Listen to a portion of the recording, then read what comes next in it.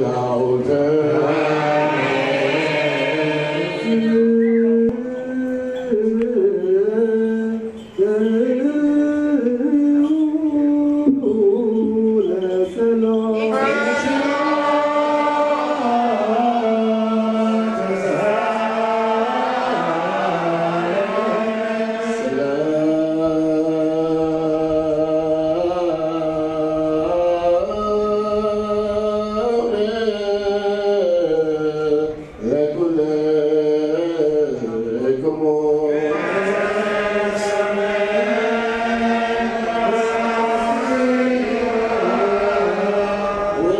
Jesus Christ, O God, who did say to thy holy disciples and thy pure apostles, many prophets and righteous men have desired to see the thing which ye see and not seen them, and have desired to hear the thing which ye hear and have not heard them, but you.